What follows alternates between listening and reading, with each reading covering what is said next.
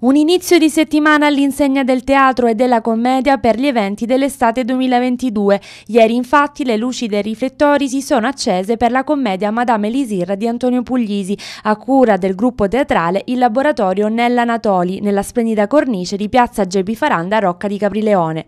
A San Piero Patti invece al chiostro del convento dei Carmelitani è andata in scena L'Epidicus di Plauto, una commedia appartenente al repertorio classico con un allestimento particolare e maschere maschere antiche.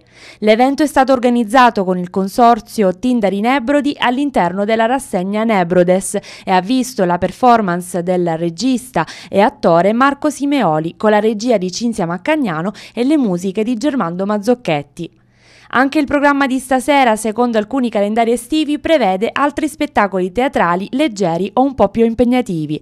A Torre Nova la compagnia teatrale I Frastornati presenterà la commedia Turbolenze d'amore, riduzione e adattamento di Gabriele Perrini, che si terrà in Piazza Autonomia dalle ore 21.30.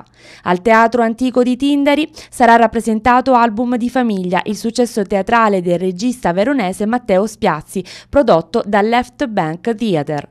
Il dramma è un tuffo nel passato ambientato negli anni 90 in Ucraina, in un momento storico molto delicato, ovvero lo scioglimento dell'URSS. Lo spettacolo inoltre vede l'utilizzo di maschere realizzate con la tecnica del papier-mâché, un particolare tipo di cartapesta.